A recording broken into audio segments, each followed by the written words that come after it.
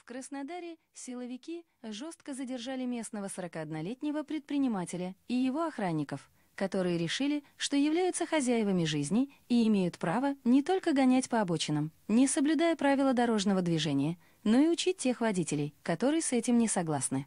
Ранее в СМИ появились кадры с видеорегистратора одного из участников дорожного движения. На них видно, что водитель «Газели» не хочет пропускать «Бентли» и внедорожник охраны, которые едут по обочине. К нему быстро подходят трое охранников, открывают дверь и наносят несколько сильных ударов, после чего садятся в машину и уезжают. Само происшествие случилось в конце сентября.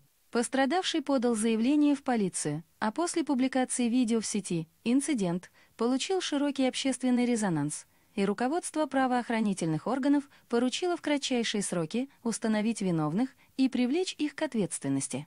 Первым отделом по расследованию особо важных дел СКР по краю по результатам проведенной проверки возбуждено уголовное дело в отношении местного жителя и его охранников по подозрению в хулиганстве, часть 2 статьи 213 УК РФ.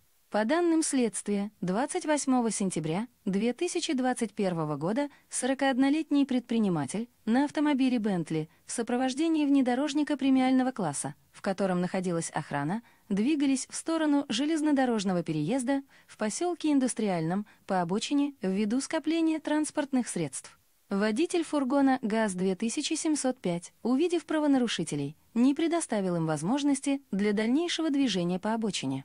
Используя данный незначительный повод, двое мужчин вышли из внедорожника, подошли к «Газели» и причинили телесные повреждения водителю и пассажиру отечественного автомобиля. В это время мужчина, сопровождающий предпринимателя в его машине, высказал угрозу применения насилия очевидцу конфликта, который попытался его пресечь. Ранее сведения об инциденте были опубликованы в СМИ и вызвали широкий общественный резонанс. Сегодня подозреваемый задержаны следователем при оперативной поддержке сотрудников Росгвардии и УР ГУ МВД России по краю. В настоящее время следователь допрашивает подозреваемых по местам их жительства и работы проводятся следственные действия.